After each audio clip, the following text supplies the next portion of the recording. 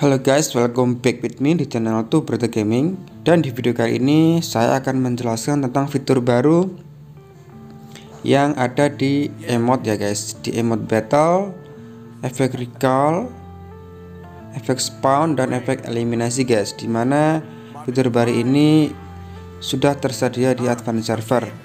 Seperti itu. Dan seperti apa Tampilannya? Seperti ini guys. Nah seperti ini guys. Jadi ketika kalian nanti sudah bisa seperti ini kalian tidak akan bingung lagi setelah melihat video ini guys. Dan bagaimana caranya? Langsung aja. Kalian klik di performa lalu klik. Yang pertama adalah notifikasi eliminasi. Di sini saya hanya bisa menggunakan yang basic ya guys. Yang basic yang bawaannya. Seperti itu. Dan di sini kalian tuh menggunakan hero tipe tipe Layla kalau misalkan kalian menggunakan hero Harley di sini kalian harus men-setting lagi efek eliminasinya guys. Seperti itu.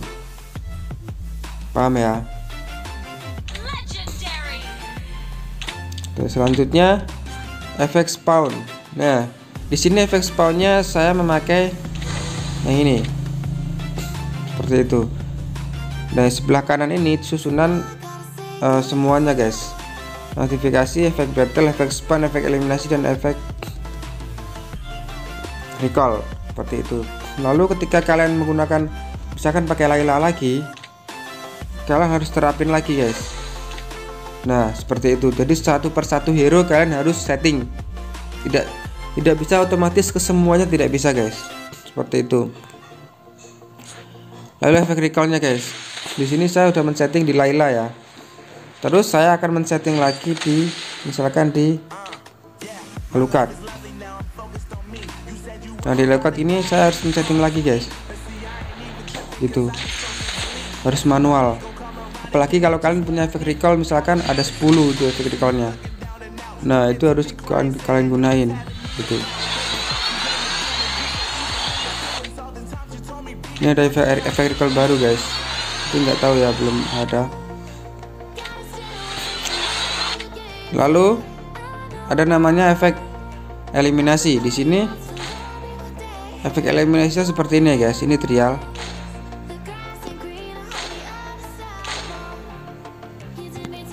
Seperti itu ya.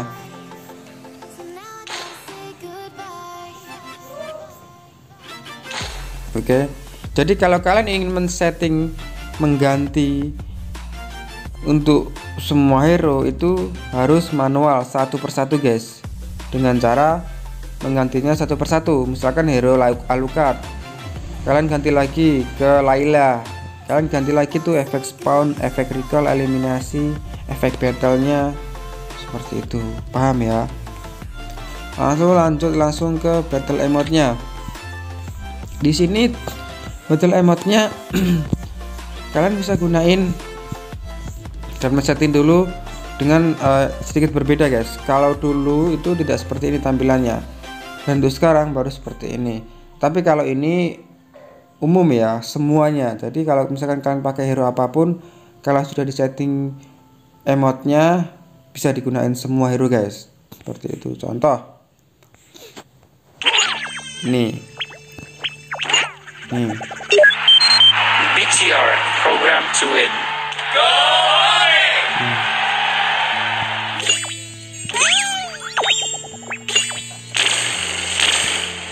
Oke. Terus saya hilangin akan hilangin dulu ya. Nah. Dan saya akan pakai misalkan ini yang pertama. Gunakan, oke. Yang kedua. Ini yang ketiga. Ini yang keempat. Ya sudah ya. Lalu di sini ada namanya uh, kill pertama, assist pertama, triple kill, wipe out dan tidak ada. Kalian tinggal pilih kalau misalkan kalian ingin kill terus otomatis emotnya itu muncul tanpa kalian klik.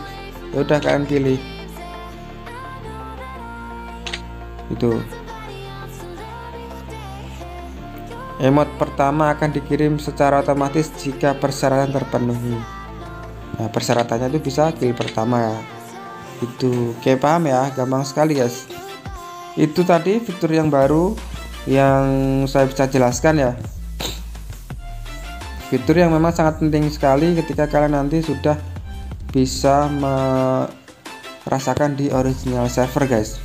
Itu memang ada yang lain fitur yang lain memang ada. Tetapi uh, ada beberapa updatean tuh yang mereka tidak semuanya langsung dikasih sama Monton guys. Sini saya hanya dikasih ini updateannya guys. Oke. Okay.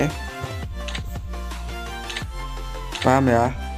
Oke mungkin segitu dulu videonya guys semoga video ini bermanfaat buat kalian dan terima kasih yang sudah nonton. Dan silahkan like ya jika kalian suka dan see you next video